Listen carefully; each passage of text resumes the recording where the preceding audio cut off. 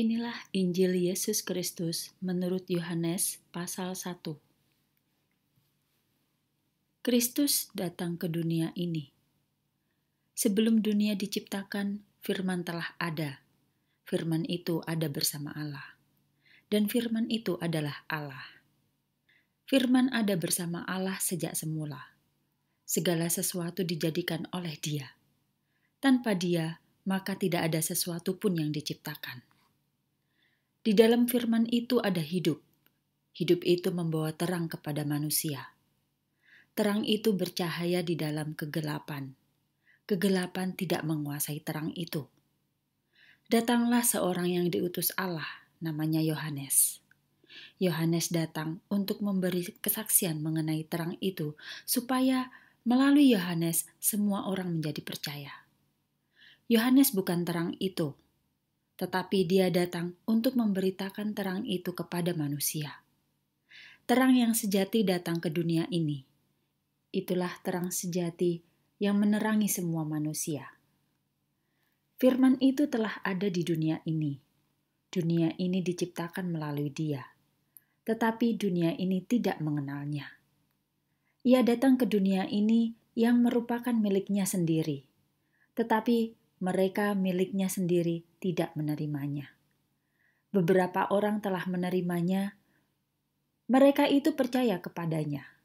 Ia memberikan hak kepada mereka untuk menjadi anak-anak Allah. Mereka itu tidak dilahirkan dari darah atau daging, tidak dilahirkan dari keinginan seorang laki-laki, tetapi mereka lahir dari Allah.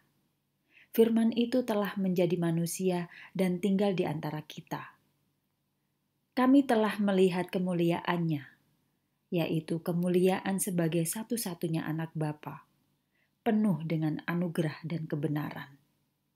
Yohanes memberi kesaksian mengenai dia. Katanya, inilah dia yang kumaksudkan ketika aku mengatakan, dia yang datang setelah aku lebih besar daripadaku, sebab dia telah ada sebelum aku. Firman itu penuh dengan anugerah dan kebenaran. Dari dia kita semua telah menerima anugerah yang bertambah-tambah. Hukum Taurat diberikan melalui Musa, tetapi anugerah dan kebenaran datang melalui Yesus Kristus. Tidak ada seorang pun yang pernah melihat Allah, kecuali anak tunggal, yang dia sendiri adalah Allah. Dialah yang terdekat kepada Bapa. Yohanes memberi kesaksian mengenai Yesus.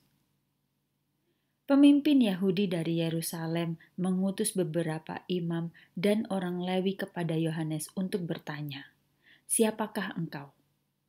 Yohanes berkata dengan bebas. Dia tidak mau menjawabnya. Yohanes berkata dengan jelas, "Saya bukan Kristus yang dijanjikan itu." Mereka bertanya kepadanya, "Kalau begitu, Siapakah engkau? Apakah engkau Elia? Jawab Yohanes, Bukan. Mereka bertanya, Apakah engkau nabi? Jawab Yohanes, Bukan. Mereka bertanya lagi kepadanya, Siapakah engkau?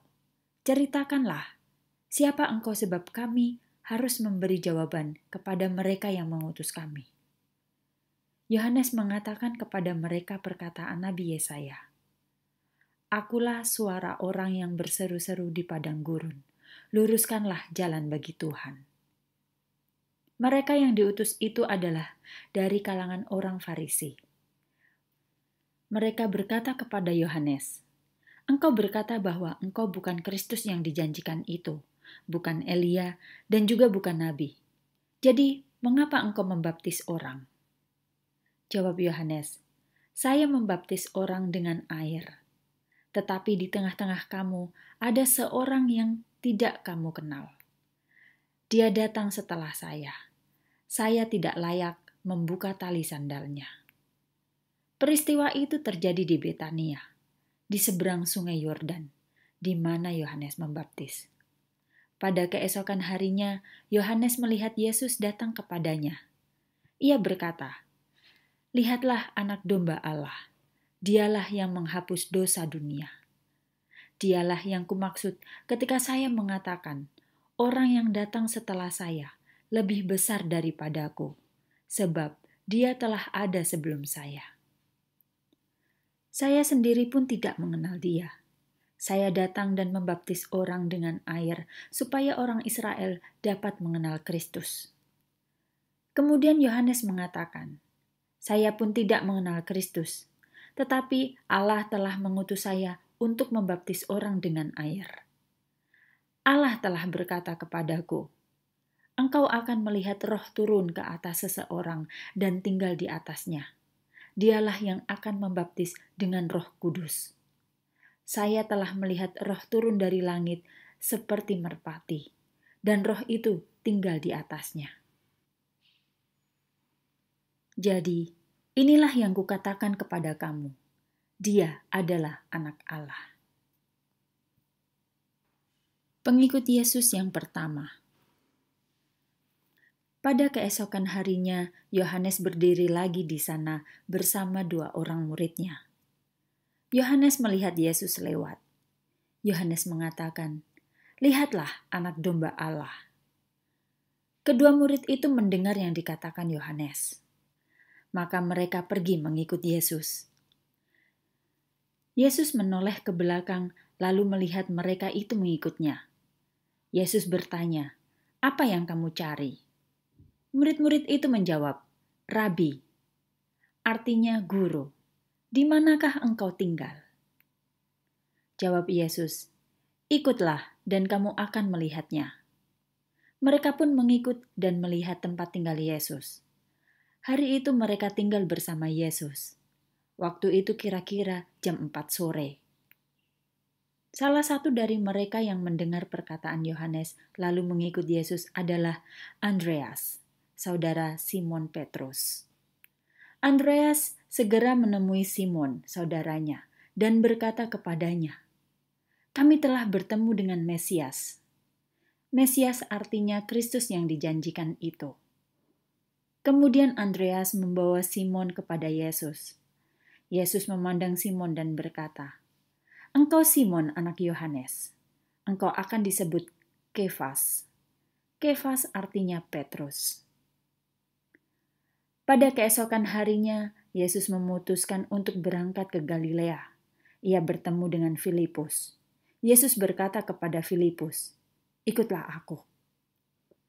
Filipus berasal dari kota Betsaida, sebagaimana juga Andreas dan Petrus.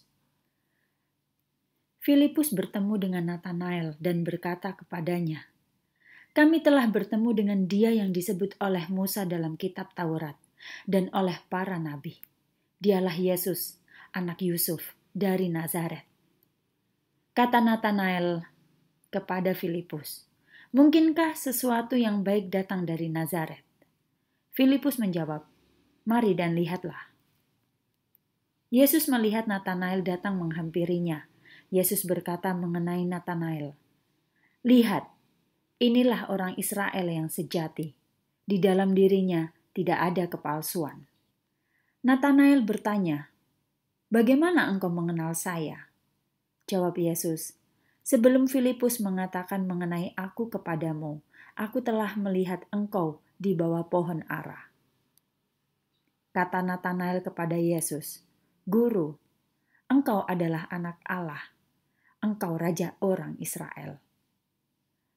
Yesus berkata kepada Nathanael, "Apakah engkau percaya karena aku berkata kepadamu bahwa aku melihat engkau di bawah pohon ara?